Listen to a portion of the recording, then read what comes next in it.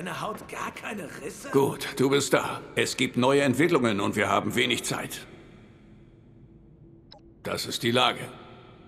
Wir wissen, dass Hugo nicht alleine gegangen ist. Er hat Cassidy im Schlepptau. Das kann nur eines bedeuten.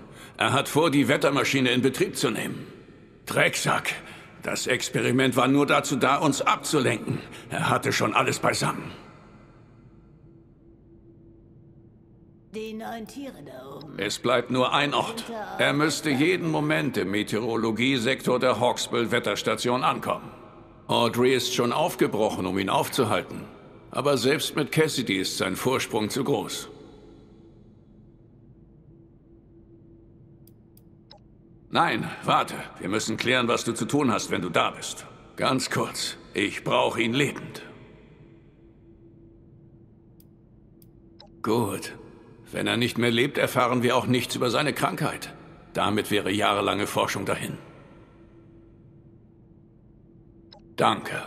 Auch wenn er sich wehren wird. Wir brauchen ihn lebend. Wegtreten.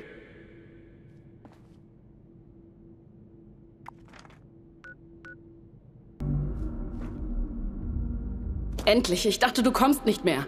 Er hat mich ausgesperrt, aber ich habe den Start unterbrochen und uns Zeit verschafft. Es ist nur eine Frage von Minuten, bis er sie erneut starten kann. Ich kann das einfach alles nicht glauben. Ich hasse ihn so sehr!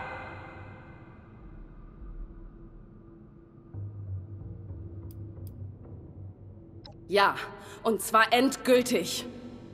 Er muss sterben. Meine Güte. Habe ich das gerade wirklich gesagt?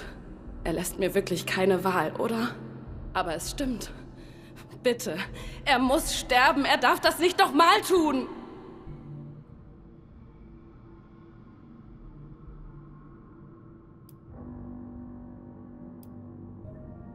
Versteh doch! Oberlin denkt, dass wir das alles noch gerade rücken können. Er irrt sich!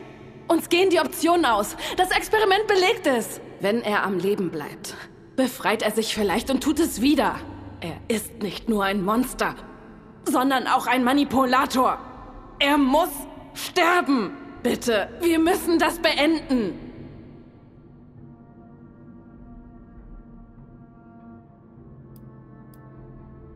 Glaub mir, ich weiß, dass ich langsam selbst verrückt klinge, aber es geht nicht anders. Ich öffne dir die Türen zum obersten Stockwerk. Komm irgendwie dorthin. Dort wimmelt es vor Verlorenen. Vermutlich dank ihm. Sei vorsichtig. Ich melde mich über die Lautsprecher bei dir. Los. Bitte.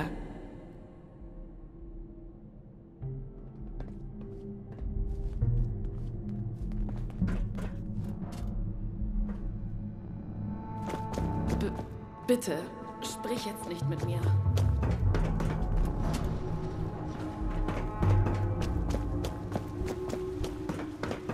Okay, damit kommst du rein. Du kümmerst dich um die Verlorenen, ich mich um das Feld.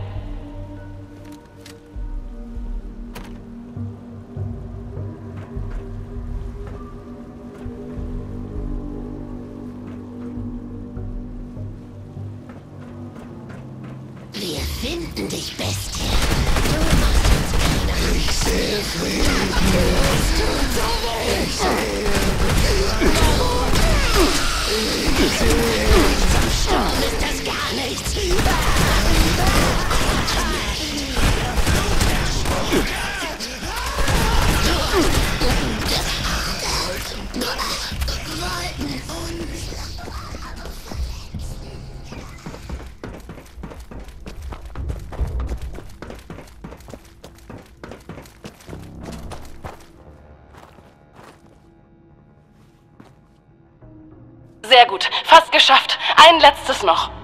Oberlin! Gott, du hast mich fast zu Tode erschreckt. Wie ist die Lage? Wir kotzen keinen Strom aus. Das ist doch schon mal ein gutes Zeichen. Wie? Wir haben ihn immer noch nicht? Los jetzt, wir müssen uns beeilen.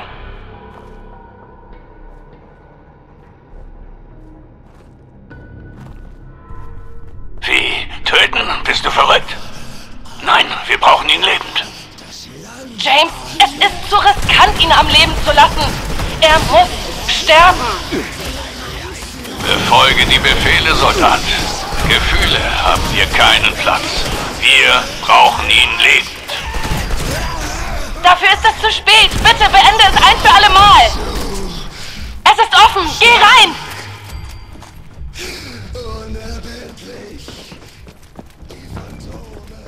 Sei gegrüßt. Schön, dich wiederzusehen. Entschuldige, dass ich dich vorhin hinters Licht geführt habe. Ich brauchte etwas, um ihre Aufmerksamkeit zu lenken. Aber ich warne dich, alle Versuche, mich umzustimmen, werden vergebens sein. Kehr lieber um, solange du noch kannst.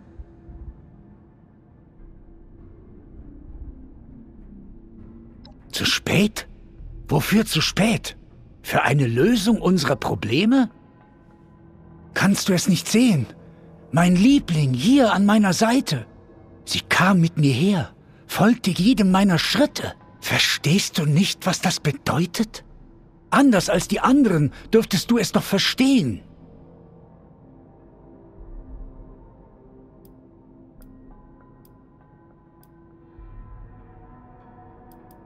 Was weißt du schon über uns? Du kannst nicht einmal begreifen, was wir sind.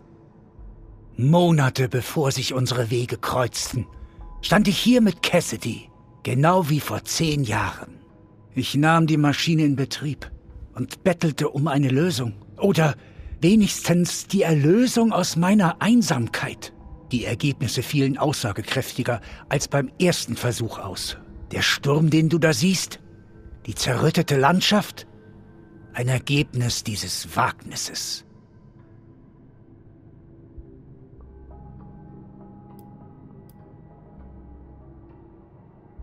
Das würde einen Misserfolg bedeuten. Es war keiner. Im zweiten Anlauf habe ich große Fortschritte gemacht. Cassidy hat sich beruhigt. Sie gehorchte plötzlich meinem Willen. Sie folgte meinen Schritten. Sie sah mir wieder in die Augen. In dieser Glückseligkeit rannten wir zurück zum Atrium. Hand in Hand. Wir rannten wie zwei Schulkinder, während diese teuflische Maschine Verderben säte. Ich habe etwas Wichtiges über meine Macht gelernt. Ich bin die Schwerkraft, die sie brauchen. Ich bin ihr Schiff, inmitten dieses Sturms, ihre Rettung.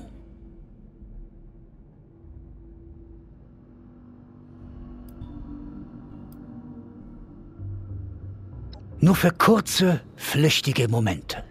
Monatelang habe ich Hilda und Audrey zur Lösung hingetrieben. Ich wusste, dass das Steuerungssignal in mir steckt. Sie mussten es nur noch isolieren, dekodieren und replizieren, um unsere Maschine meinem Willen zu unterwerfen und mich mit unseren verlorenen Kindern zu verbinden. Aber den Unterschied hast du gemacht. Ohne deinen Tatendrang wären wir nicht weitergekommen.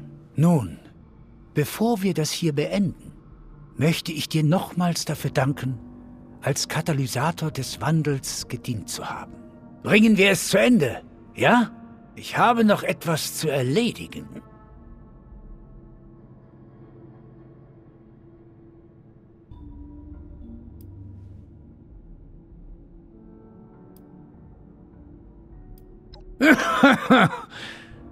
Ich fürchte, Vergebung für meine Sünden kann weder von Gott noch von dir kommen. Oh Gott. Die schlechteste Entscheidung deines Lebens. Du hast Blut an den Händen! Verdammt! Au! Du mieser Verräter! Das war's doch nicht! Aua!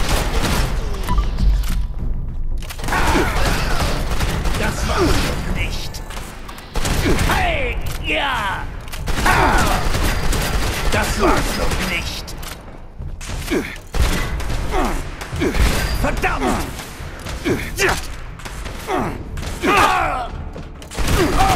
Ich brauche Hilfe hier drüben. Verdammt!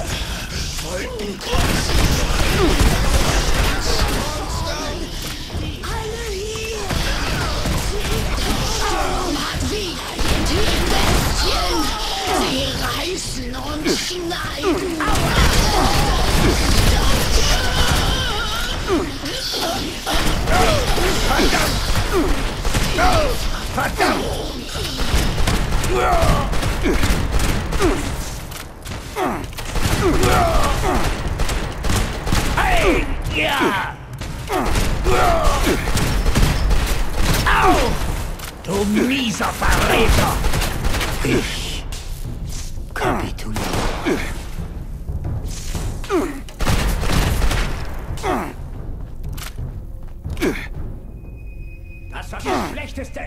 Deines Lebens. Das war's noch nicht. Verdammt!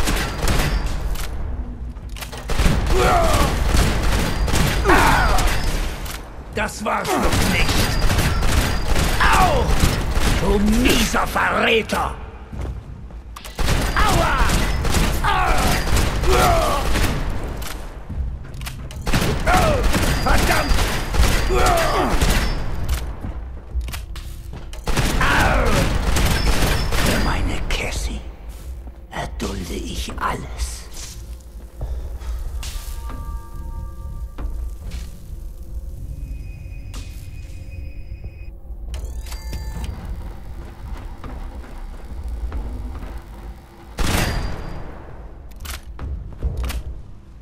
Scheinbar habe ich deine Kraft unterschätzt. Für mich scheint sich wohl alles zum Schlechten zu wenden. Nicht wahr?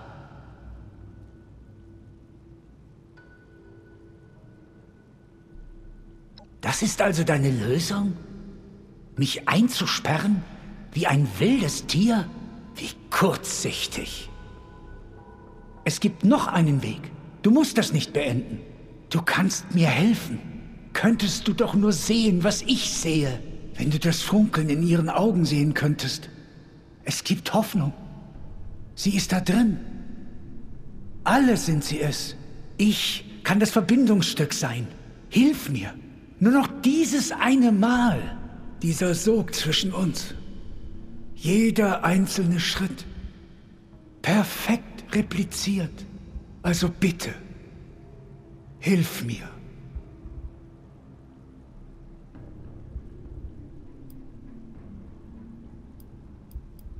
Geh einfach. Verschwinde von hier. Und lass mich meine Arbeit machen. Es wird sich für dich lohnen, wenn du sie mich ungestört nach Hause bringen lässt.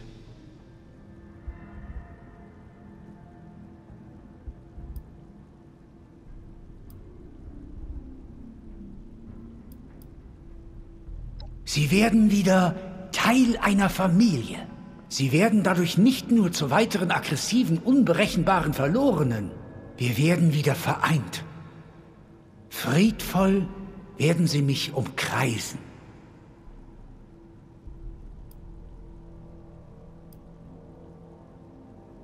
Bitte, hilf mir. Hilf mir. Ich bin zu schwach zum Kämpfen. Tu, was du willst. Dummkopf. Gut, er atmet noch. Beeil dich und schalte diese Maschine ab. Wir holen ihn später wieder. Ich habe dir vertraut. Verdammt!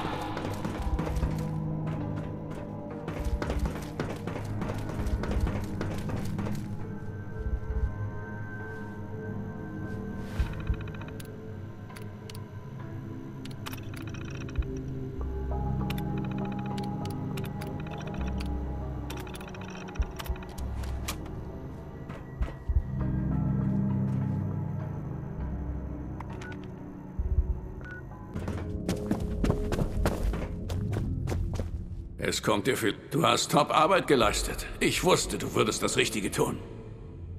Du hast uns gut gedient. Ich bin froh, dass wir dir vertraut haben. Jep, du gehörst wirklich zu den Guten. Kein Zweifel. Gut, dass wir auf derselben Seite sind. Jemanden wie dich hätte ich ungern zum Feind. Ah, da ist ja noch Platz an der Wand. Das geht auch. Und zwar einen guten. Es kommt dir sicher vor, als wäre er gut weggekommen. Aber glaub mir, so ist es nicht. Er wurde ruhig gestellt und erholt sich von der Tracht Prügel, die du ihm verpasst hast. Aber sobald er aufwacht, endet die Schonzeit und die Forschung beginnt. Er ist der Schlüssel zu den Verlorenen. Aber niemand wird jemals von seiner Beteiligung erfahren. bekommst Hätte ich nicht besser sagen können. Keine Sorge. Wir kümmern uns um das Chaos, das uns der Drecksack hinterlassen hat. Aber ähm, hör mal, ich kann dir keine Ehrenmedaille verleihen. Ich hab keine. Aber ich würde, wenn ich könnte. Du hast dir meinen Respekt selbstverständlich mehr als verdient. Ich hoffe, das bedeutet dir etwas. Lass dich bloß bald wieder blicken, okay? Das ist ein Befehl.